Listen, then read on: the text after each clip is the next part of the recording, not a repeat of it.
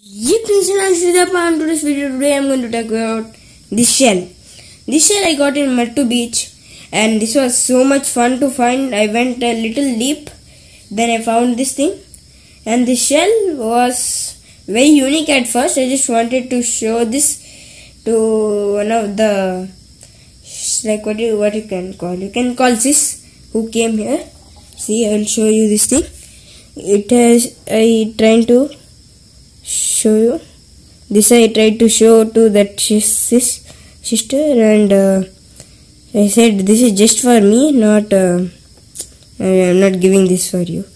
So now I made necklace now I like to wear it and everything you know. Very funny.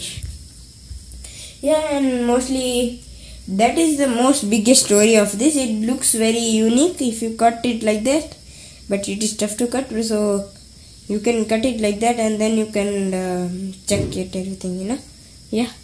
So yeah mostly that was uh, it. For this video subscribe like share this video. Meet you next time. Bye bye